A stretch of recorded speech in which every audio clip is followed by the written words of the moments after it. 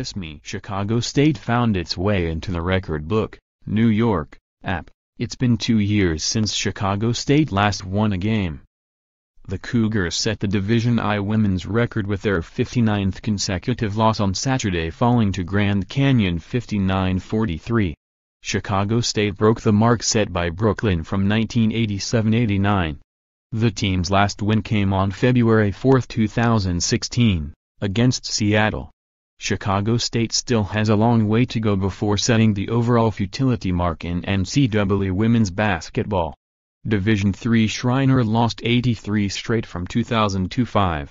While the Cougars can't find a victory, UConn and Mississippi State still haven't lost this year.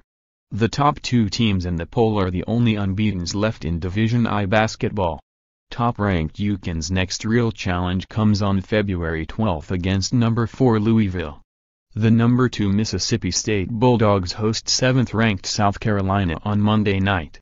Other tidbits from the week, Poll Watch, NC State is playing like one of the best teams in the country lately, with seven consecutive wins.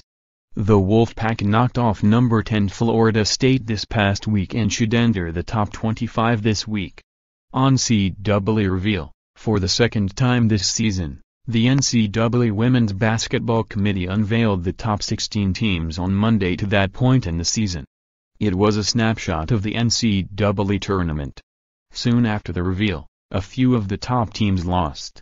The NCAA will do one more unveiling before the NCAA field is announced March 12. No panic, number 13 Michigan has dropped two straight games for the first time all season, but coach Kim Barnes-Arico isn't worried. Every team goes through this, she said after a loss to Rutgers on Sunday. Now you got to keep your confidence and we have to get better, but let's not lose our mind. We lost two games. The world isn't coming to an end. Let's regroup and figure out how to get better.